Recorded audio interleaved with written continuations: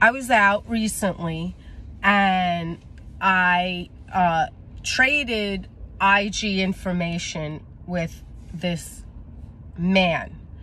And he sent me a very provocative picture in my DM. Not cool. Guys, if you are going to meet a girl, do not send these pictures. And ladies, if you accept these pictures and base seeing a guy off of what kind of package he has, this is why you have a problem meeting a quality man. Okay? Guys, no provocative pictures. Ladies, we do not accept these pictures. Okay? That is the lesson of the day. Thank you.